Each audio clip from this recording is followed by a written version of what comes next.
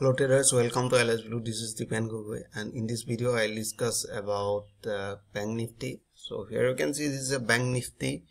Yesterday I told that uh, if uh, Bank Nifty break this level around 3070 right uh, 700 uh, 30,700 so it was our sell point after breaking this uh, supporting line and our target was uh, 30,200 right this is our target. So here you can see last uh, last day you can see after breaking this uh, this supporting line. So price just uh, came near this next uh, supporting line. So now we are looking for entry here uh, in bank nifty. So here is the big question will be arise here. In which direction we can enter?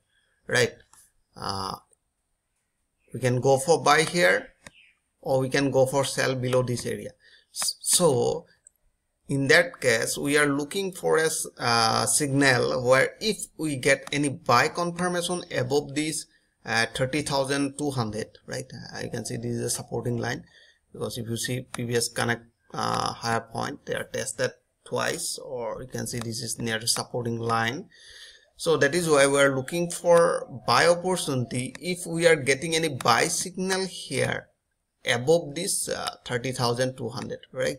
So we'll go for buy and our target will be 30,700 right? If in case if we are not getting any buy signal here if the price break this supporting line uh, if candle close below this 30,200 so we'll start here for the sell.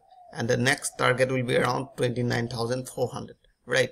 So this is uh, for our chart so let's see in a small time frame. Uh, like uh, 15 minutes for enter. So now you can see price is creating lower low and lower high. Have you seen? The price just running here. Lower low lower high. Lower low right? Lower high. And they're creating lower low. So now you can see if people are thinking yeah they broke this uh, level. So you start uh, selling from this area right? So what happened here we have seen a supporting line in a large time frame. So above this supporting line we never gonna take sell position right? If the break this level like 30,200 will start selling from this area right? Uh, this will be our sell point right?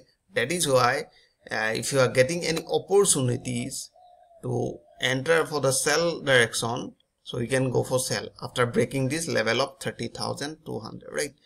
Or in case if we are getting any buy confirmation according to your trading strategy you can go for buy and your target will be 30,700 right? So i hope you enjoyed this video. If you like this video please like and subscribe. Thanks for watching